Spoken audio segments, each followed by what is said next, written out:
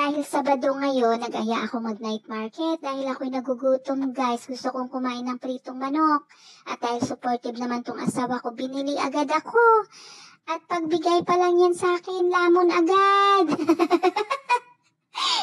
Ay guys, ako'y pagutom. Wala akong arte-arte kung anong gusto kong kainin, kakainin ko. Dahil papalapit kami dyan sa gitna, may naaamoy akong nag-iinasal. Ayan guys, may nakita nga akong nag-iinasal at niyaya ko na naman siya para bumili. Kaso wala silang isaw, kaya ang pinili ko ay balon-balunan ng manok.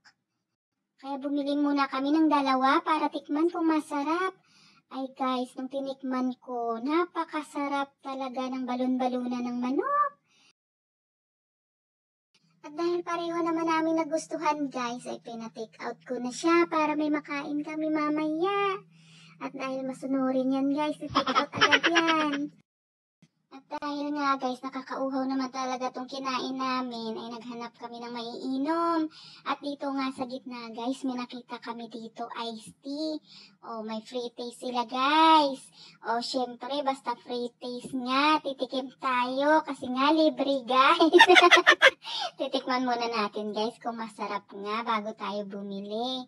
So, ayun nga guys, natikman ko at masarap naman talaga yung free taste nila. Eh, syempre guys, bumili kami para wag naman sabihin na naki-free taste lang kayo dito tapos hindi naman kayo bibili. Pagkatapos naman namin dito, ay nag-aya siya guys, bumili ng tinapay. So, ayun nga, syempre, masunurin din naman ako kasi busog na nga. Bumili na siya ng tinapay niya, guys. Siya ay mahilig sa tinapay, guys. Ako naman ay hindi masyado. So, hayaan muna natin siya, guys, bumili. Siyempre, hindi mawawala yung mais. Kailangan bumili ng mais bago umuwi kasi paborito nga. Ayan, guys, ang mais nila. Masarap yan, guys. Malalaki pa. So, ayun guys, pagkatapos namin bumili ng mais, umuwi na din kami. Siyempre, night market. Puro pagkain lang naman talaga ang habol namin dyan. Matakaw nga kami, di ba? Nakikita naman sa katawan.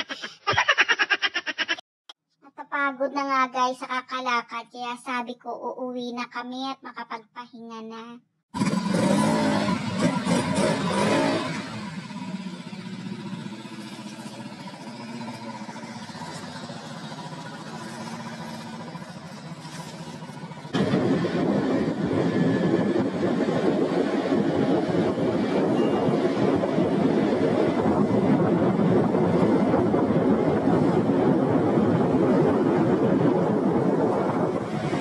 Ay, salamat. Nakarating din kami ng safe. Thank you guys for watching. Bye-bye!